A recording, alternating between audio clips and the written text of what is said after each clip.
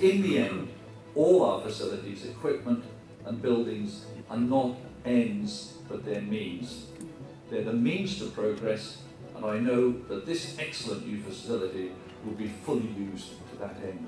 But be in no doubt, this day is very special for the department. For the first time in our history, we are housed under one roof in a building designed for purpose. so I'm really pleased to see this building. Uh, I congratulate everybody concerned in it. I put up an engineering building at UCL, so I still bear the scars of that. I know the effort that was involved in it. Uh, the, uh, first uh, is that as a former Minister of Science, uh, I know that the UK, um, and indeed Cambridge in particular, are actually world leaders in this particular field. They're, they're well respected, understood, they're world leaders across the world, and that's a great achievement. Uh, the second point is just to say that I think this splendid building will do an enormous amount to help the department to stay as world leaders and to go on making key advances. It's also, I think, part uh, of what is enormously exciting period of development uh, for Cambridge, uh, which will maintain and indeed enhance its reputation across the world. So on the basis of those two points, can I just say how delighted I am uh, to declare this building open.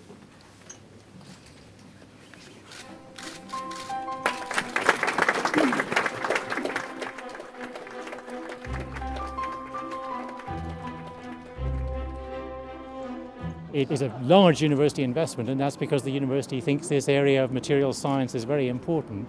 And we also see it as crucial that it's on this West Cambridge site, which is really up and coming for the university. So we're linking close to our colleagues in physics, in manufacturing, and soon chemical engineering will be up next door to us as well. So bright things to come, I think.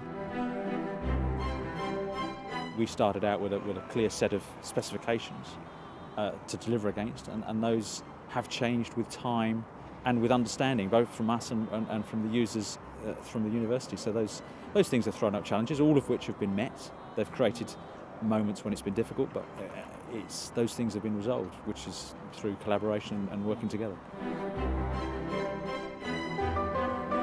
We have to recognise it just was a highly complex project because we as a department have very mixed activities ranging from very sensitive nano science, very sensitive vibration, etc.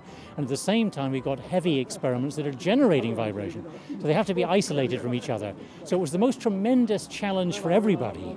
And I think that means it's a tremendous sense of achievement now that we've delivered it and it's actually performing to specification.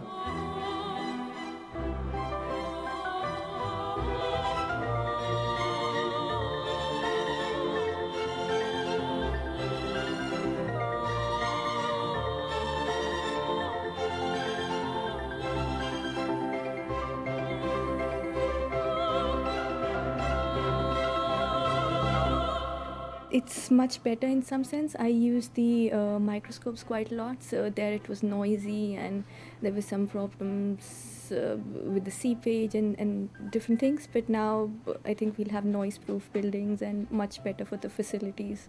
When we did a, a tour, an initial tour of the building, I realized that it was a, a custom-made building, and uh, there's been a lot of uh, thought into the you know uh, things like energy efficiency and environmental friendliness and so on. So it's a yeah, it's a good building in that respect. I was really impressed with the labs because um, the labs in the previous uh, buildings were all very old, not much space, and um, now all our equipment has its proper position. Uh, it's quite nice to actually work in the labs. And the fact that we're all together in the office is also really nice. So now it's much more sociable and you can talk to people about your work more easily because everyone's sort of around and our supervisors, we see them more often. So yeah, it's all very, very good. And it's nice to be in a sort of purpose-built uh, facility. Even though it's out of town, it's, it's nice to feel like you can sort of see all the other groups in, in action um, as you walk around the department because it's very sort of open plan and you can see lots of other research going on, which is nice.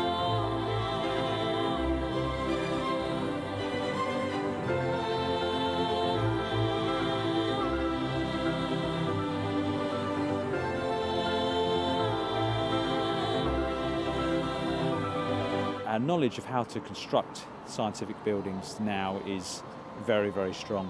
I think that sets, sets us very well for the future in, in building further you know, scientific establishments of, of whatever kind. There's every kind of science in this building. And talking to Lindsay just now, he, he, he was saying about the, the cross section of, of different technical aspects that are fused together in this building and that, that, that we've managed to overcome the, the, the, the, nuances between those particular elements, elements has been a, a massive challenge and it's, it's, it's, it's brilliant. We're, we're really, really proud of what we've done.